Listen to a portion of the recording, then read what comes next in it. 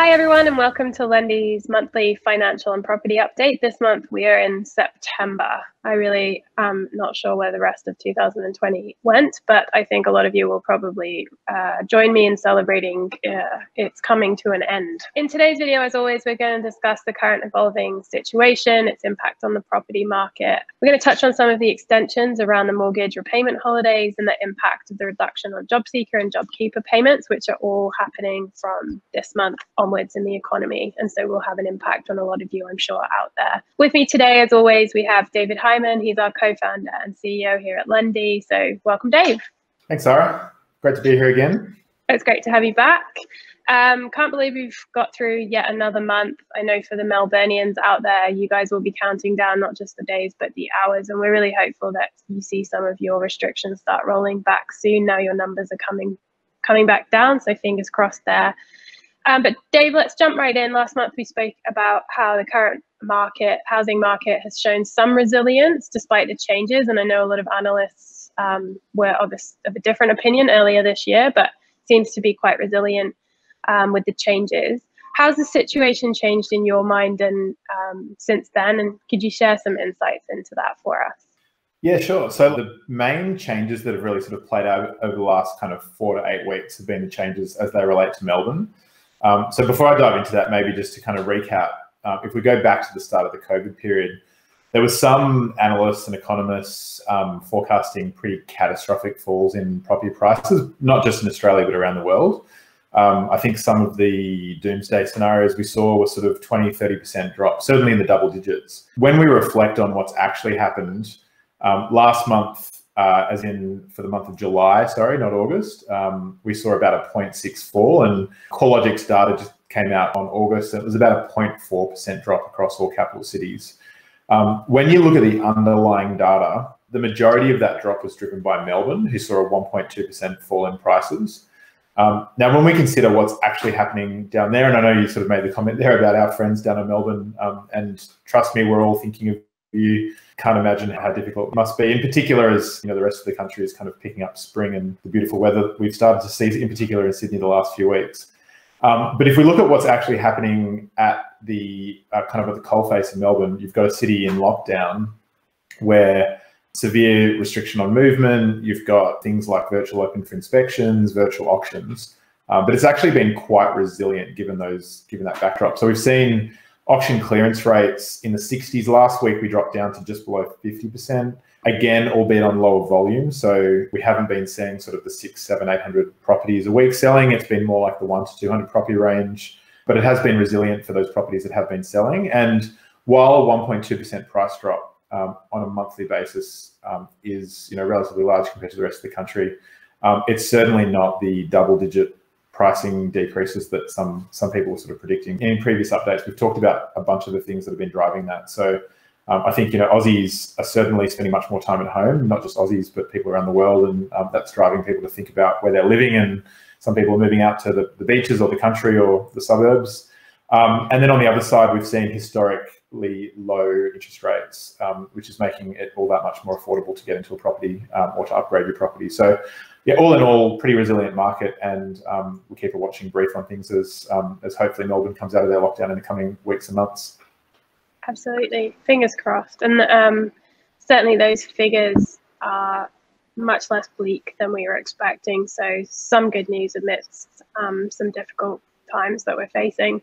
Um, so thanks for that. You mentioned that the government stimulus packages and mortgage repayment holidays are keeping the economy afloat, but the reduction in the JobKeeper and JobSeeker uh, payments take effect at the end of September, so this month that we're in. What do you think this will mean for those affected, and what could the potential impacts be on a slightly wider scale? Yeah, so the best way to answer that really is to kind of look back at how both the government and the finance sector has dealt with the crisis from the get go. So, if we kind of go all the way back to March, we had the ABA and the banks, as well as Treasury and the government, come out really, really quickly with a couple of key stimulus measures. So, you talked about JobKeeper and JobSeeker, um, but there's also the, the mortgage repayment holidays. And if we think about how those things kind of come together, a JobKeeper and JobSeeker is about keeping both companies uh, employing people and, and, and able to sort of have the cash flow coming in to, to keep people in jobs or those that are out looking for jobs, the elevated payments that were there, and albeit those will be stepping down at the end of September, as you mentioned.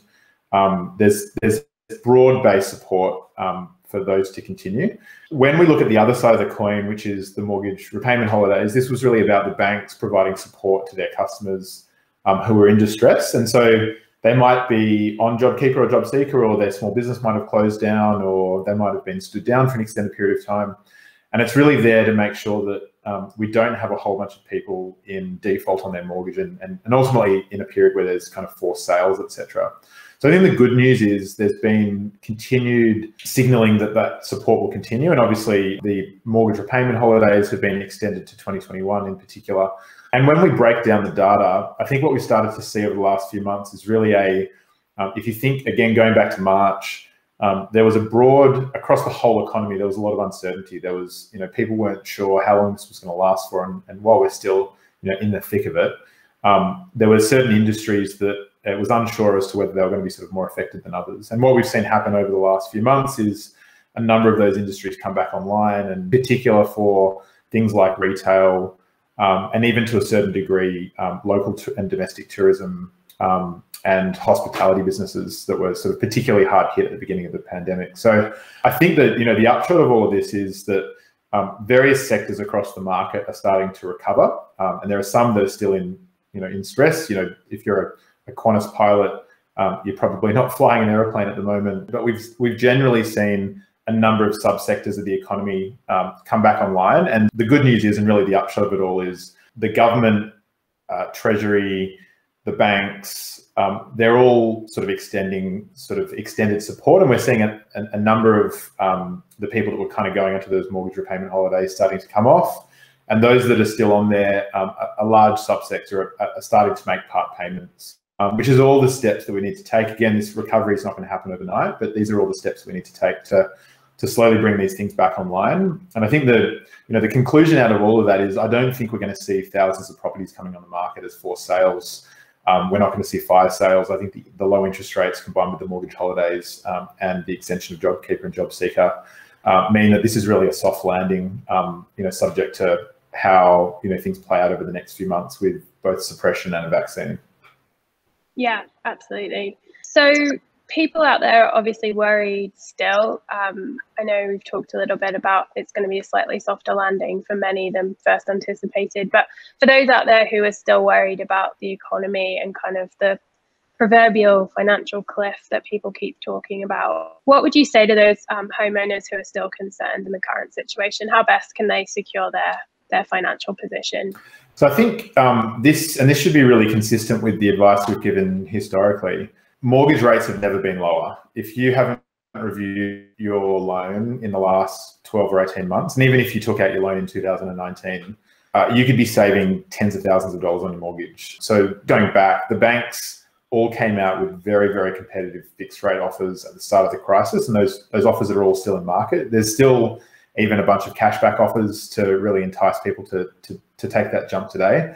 And it's never been easier to refinance. What COVID really did was it accelerated a lot of the digital adoption for a number of the banks. There's a whole bunch of different processes that used to be manual and offline and time consuming that, that can now happen in a purely online context. So it's never been easier and it's never been more important to do so. So we strongly recommend if you haven't looked at it for 12 months or or longer, or if your rate starts with a three, that you should absolutely do something today, whether that's looking at another lender or working with your existing bank to move you onto one of the new rates. Um, and certainly, you know, Lendi or a home loan specialist can help with all of that. Absolutely. And I don't know about you, but um, I think I mentioned at the beginning that time is just flying by. So um, I know the other day I noticed it had been a year since um, I even I checked, and I it just blew my mind that it had been a year. So time is going really quickly, guys. So just make sure that even if you did get your your mortgage last year, you know, you could be um, there could be a real opportunity for you to review it now. A common misconception as well is that you should only be doing this if you're under stress.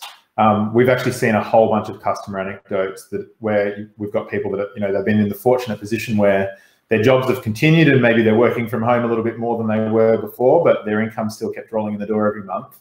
And we're seeing a lot of those people um, take out the new offers and just keep their repayments where they were before. And what that really means is that they're able to pay down their loan many, many years ahead of where they would before. So you don't have to be in mortgage stress. You don't have to have lost your job to be to be looking at these things, um, now is really the time to do it, no matter what situation you're in. Yeah, that's really great advice. Amazing. Imagine losing a few years off of that that mortgage. Thanks so much, Dave. Uh, yet again, just some amazing insights um, and really, really crucial that we're bringing a more positive point of view out there as well for, for how the market is going. Again, as always, if you have any comments or topics that you would like us to discuss in these sessions, then make sure you add that to the comments below. And if you are experiencing any financial difficulty and you're wanting to know a little bit more information about how you might reduce some of your mortgage stress, we do have a whole bunch of content on our YouTube channel for you. There's one here covering uh, mortgage repayment, holidays, and refinancing. So make sure you check that out. Otherwise, we hope you stay safe. Uh, Melbourneites and Victorians, we hope that next time we see you, you've got a little bit more freedom and your numbers are even more reduced. Um, but thank you so much for joining us, and we'll see you next time.